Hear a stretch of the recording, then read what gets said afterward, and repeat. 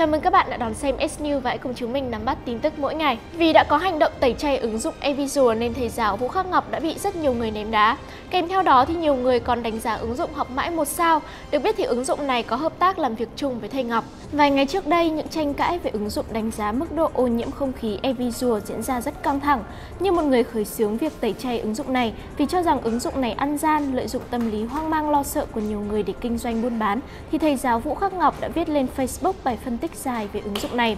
Thành Ngọc tỏ ra không hài lòng và kêu gọi mọi người tẩy chay. Nhờ vào sức ảnh hưởng lớn vì tài khoản cá nhân của Thành Ngọc có hơn 180.000 người theo dõi nên đã có rất nhiều người tẩy chay ứng dụng eVisual cũng như là đánh giá một sao cho ứng dụng này.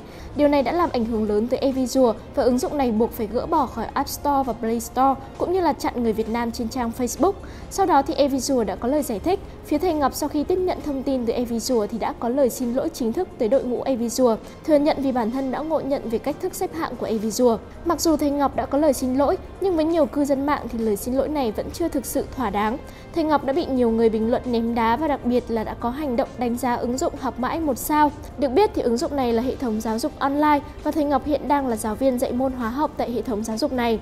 Liên tục các mức đánh giá thấp và yêu cầu tẩy chay thầy Ngọc xuất hiện trên App Store, Play Store. Ngoài ra thì địa chỉ học mãi trên Google cũng nhận về hàng loạt đánh giá tệ tương tự. Đại diện hệ thống học mãi sau đó đã lập tức phải lên tiếng rằng trên tất cả kênh truyền thông của hệ thống, chúng tôi đang phải hứng chịu sự tấn công quá khích. Chúng tôi phải gánh chịu hàng nghìn bài viết đánh giá tiêu cực một sao, thậm chí là những lời khủng bố đe dọa. Mong rằng sự việc này sẽ không còn tiếp diễn vì điều này ảnh hưởng lớn tới tập thể.